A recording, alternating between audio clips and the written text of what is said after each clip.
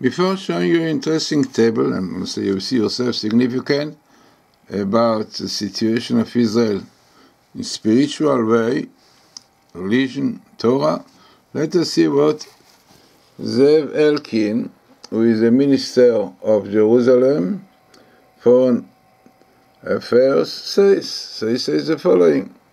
He says the Supreme Court in Israel intervenes in matters of religion and states in a brutal manner. Yeah, it is known, everyone who follows the verdicts of the Supreme Court of Israel, the Bagatz, clearly sees that most of them, if are matters of religion, on Sabbath, on holiness, and sanctity, is against, against Orthodox, against the Sabbath. Now, as you see yourself, this is really part of what our sources long time ago, the Kabbalah, the Zohar says, the situation in Israel will be before the coming of the Messiah. Lot of opposition to holiness, to sanctity, to Sabbath, and this is really the work of the Satan to disturb and to stop the Messiah from coming, because for Messiah the coming, we need to keep the Sabbath, the Torah, the mitzvot.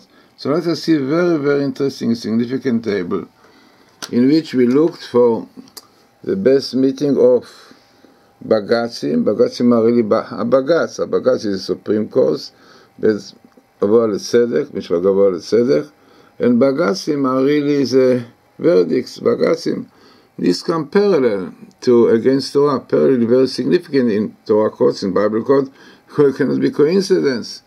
Then what we have here, also very, very interesting, clearly showing us what our rabbis tell us, that these powers are from the left wings, small. Here is a word small, foolish, so that this is a power, and it is known. It is known that the Bagatz in Israel Supreme Court is connected with the left wing, with Meretz. We know this party Meretz against the Torah, the left. And this is the power which is against the Torah. Our rabbis know quite well. The Kabbalah says there's a heavenly angel of the small, of this forces against Torah to do with Samael. Samael is in Hebrew Samkel, want to blind the eyes of God, meant to blind divinity, divine providence. Amazing. It comes exactly almost parallel to the Bagatz, to the Supreme Court. You have your Bagatz in black, the Supreme Court, and in red, the Samael. Amazing.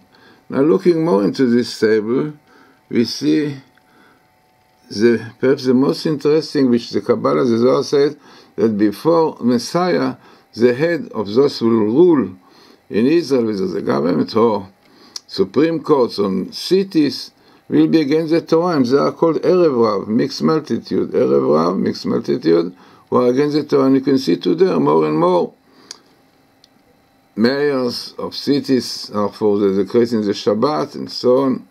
Interesting to come together with the Korach, Anybody who know Korach was a person who rebelled against Moses, against the Torah, and Aaron. Exactly this was they are doing against the Torah. Now, what is the result of such doing? The Torah tells us. If you're doing things against the Torah, then v'charaf Hashem ba'as.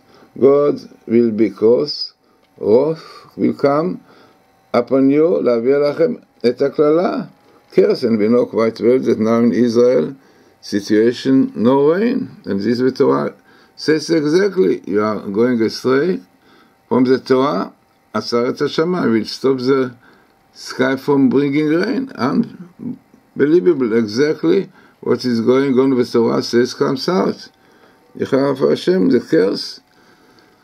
Then, what is important, and this is what the Torah tells us, and this is the most important part in it, החוקים והמשפטים זה ה-laws and judgment אשר תשמרו נשודו לעשות בארץ אשר נתן השם אלוקיך לאבותיך לך. You have to do in the land. Some say that to keep the Torah is for exile, for Golah. This is stupidness. And Torah tells us no, to do in the land. If you want to live properly in tranquility and peace in Israel, yeah, you have to keep the laws, חוקים משפטים, which I commanded you, I gave you the land, לרשת אותה, inherit, and all the days אשר אתם חיים על אדמה, so that he will have good life. Therefore, there is a big warning. Yishamer lecha, be careful, pen tishkach, that you will forget that Hashem God who took you out from Egypt. So looking on together in this table, which is really quite significant, we said to have minimal best meeting of against Torah with parallel of Bagatsim, of verdicts and Bagatz, and uh, clearly come with a small.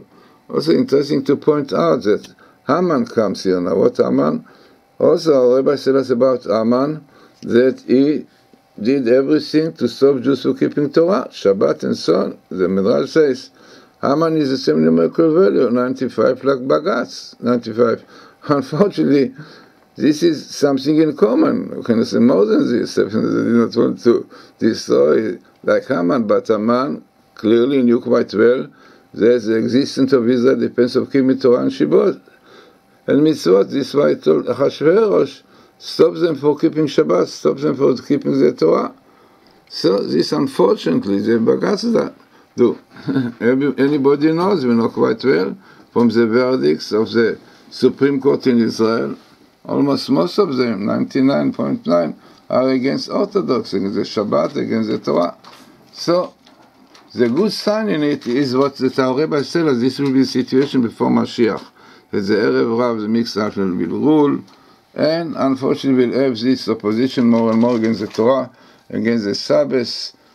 We see more and more, unfortunately, mayor of cities causing more and more the desecration of Shabbos. It's exactly what that but it's a work of the Satan, because the Satan knows that by keeping Torah mitzvot, Messiah will come, so he's doing everything to stop it, and this is why it becomes more and more. Really, it is worse than ever that so many shops and so much more, the desecration of the Shabbos is taking place in Israel, which is a holy place, and especially in Jerusalem, unfortunately.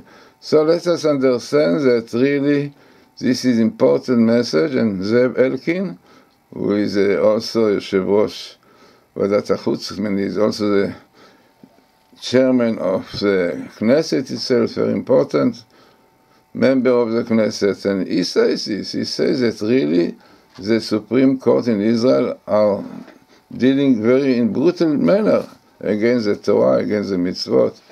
And this is really something which is unfortunately very right. And this the only solution is what the Torah says keep the laws, the judgment in the land which I gave you, so that you will live life of tranquility and peace, blessings in your land all the days.